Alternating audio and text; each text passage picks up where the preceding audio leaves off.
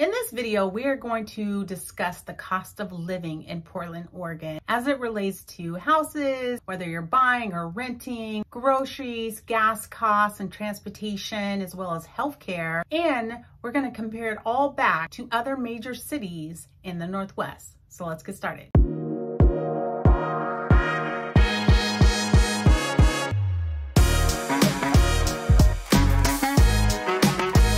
Housing pricing is what makes living in Portland so expensive, right?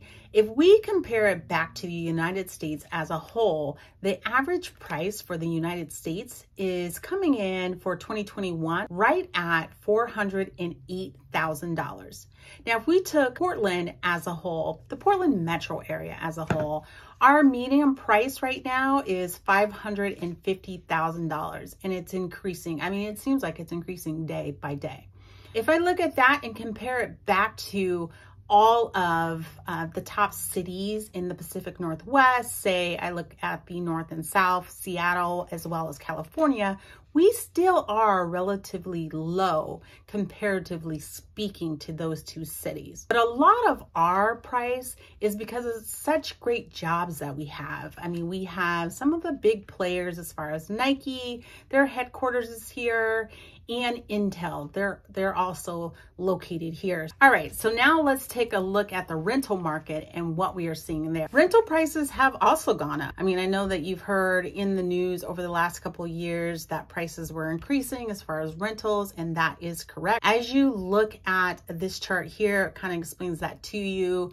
Portland is seeing tremendous growth, and with that, we start to see prices increase, right? So if you're looking at um, rentals and say we're looking at a house in the metro area, three to four bedrooms, that can range about 2000 all the way up to $3,000 depending on location. It could definitely go higher than that and could go lower than that, but they are few and far between. Okay, so utilities. If I were to average everything out and let's talk water and sewer. If if you were looking at water and sewer, I would say be prepared to pay around 200 per month, probably over that depending on your home size, how many people you have living there, how much water you are utilizing. Now, if we look at garbage, garbage will run you in the city around $50 per month. Now let's take a look at the gas price prices. Well, actually, let's not take a look at gas prices yet. Let's kind of talk about Portland as a whole and transportation because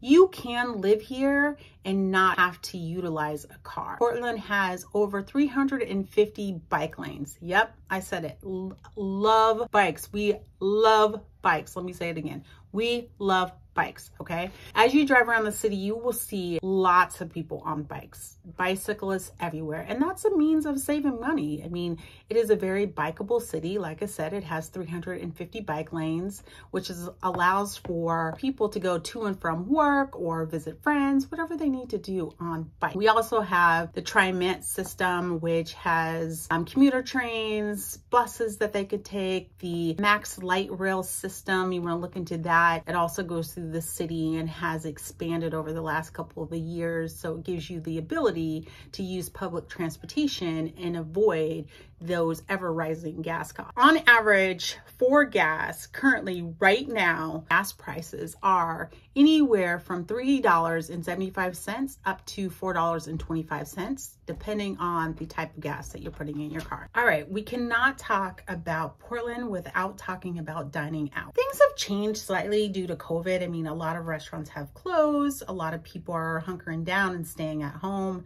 So they're doing more eat at home versus eating out. But on average, for a medium scale restaurant for two people, you're going to spend about $70.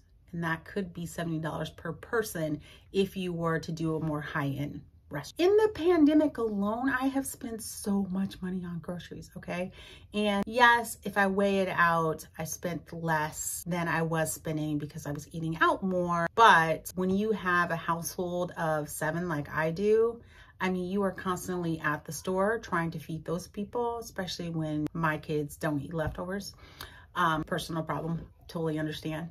But if we're looking at groceries, I would say on average, they're like whatever the average is in the United States at this time. I don't think that groceries are going to be a different cost. So whatever you're accustomed to now is what you're going to see here. One thing to take in mind though, when you are grocery shopping, what you see is what you get. And when I say that, we do not have state tax. So that means whatever the price is that you see in the store is the price that you will pay, which is a benefit with living in Oregon, okay?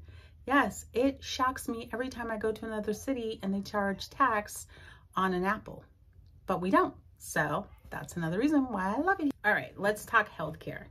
So on average, based on other cities in the United States, I would say that we are on the lower end. But then again, some may dispute that, and that is okay. If I was to take the average person, 40 years of age, non-smoker, I would say that you're going to pay anywhere from 260 and that's if you're an entrepreneur, you don't have a company that is supporting you on the healthcare side. Um, so if you're going at it on your own, that is what you're going to have, that fee of 260 to $300. And there's going to be a deductible, of course, attached to that. Comparatively speaking, if I were to look at some of the larger cities, it's going to be much higher to get healthcare there. So I think that you will do, you will see a tremendous um, decrease as far as your healthcare when you come to Portland. But don't quote me on that. Go out, check it out and make sure that that is correct. And if you have looked for healthcare in Portland and you do know it's much lower or much higher, leave me a comment. Just go ahead and leave a comment down below for all of those that have watched the video and are questioning whether or not I know what I'm talking about. So we have discussed the cost of living in Portland, Oregon, right? While I was doing the research for this video, I took the liberty to look at the top most expensive cities in the United States, and we're not even ranked in the top 15. We're not even in the top 10, but you know who are ranked in the top 10 and in the top 15 is California in Seattle. We are still coming in lower than California and Seattle, which is why Portland is still such a great city to live in. As usual, if you have any questions about Portland, Oregon, or anything that I've discussed in this video, feel free to leave me a comment. Um, I'd love to hear from you. Till next time. All right, you ready? Get your game face on, turks. Get your game face. Get your Dirks.